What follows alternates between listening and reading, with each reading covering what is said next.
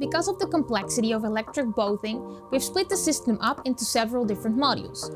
These modules are propulsion, control, monitoring, energy storage, and energy supply. Within these modules, multiple choices and combinations are possible, so you will be able to make the right choices for any boat. The ePod is an all-in-one solution, combining motor, steering gear system, propeller, everything into one complete system.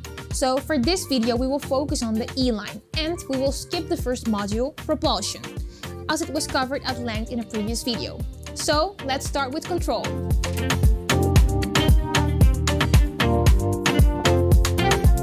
The E-line can be controlled with the ELPS side-mounted control lever. It enables safe and easy proportional control of your vessel.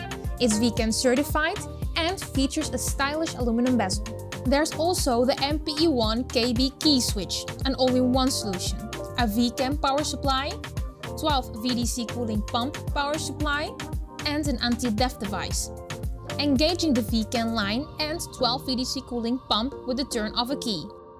Monitoring the eDrive status can be done with our MPE1 MB monitoring panel.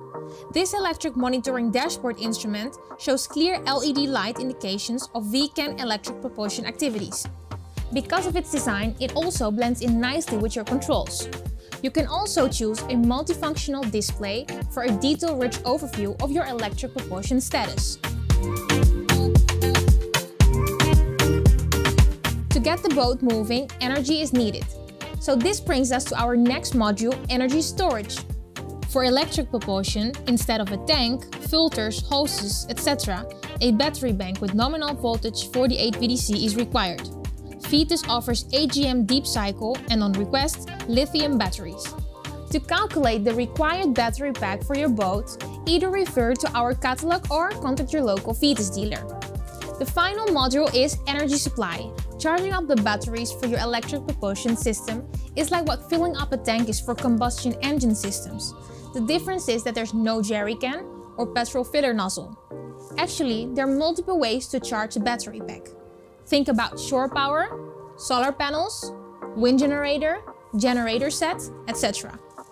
All Vetus e-drives are equipped with the patented motor controller with boosted battery charge function. Using the boosted battery charge function, a 24 VDC charger can be used to charge up the required 48 VDC battery pack. This is an economic advantage as the 24 VDC battery charger is readily available. This also allows the boat builder an easy way to provide a 24 VDC electric board network.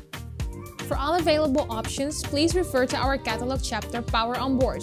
If you haven't done so already, please watch the previous videos in this series for more in-depth information on these products. Thank you for watching!